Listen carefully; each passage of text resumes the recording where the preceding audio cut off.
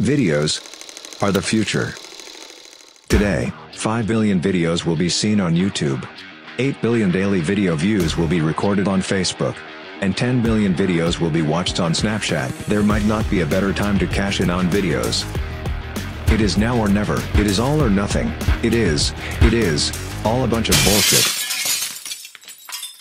Videos aren't just a futuristic trend, or a fad that will go away.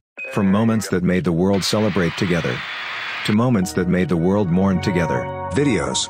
They have always been an important part of our history. I have a dream. People who understood its power went on to become celebrities, visionaries, and legends. This hold true even to this day.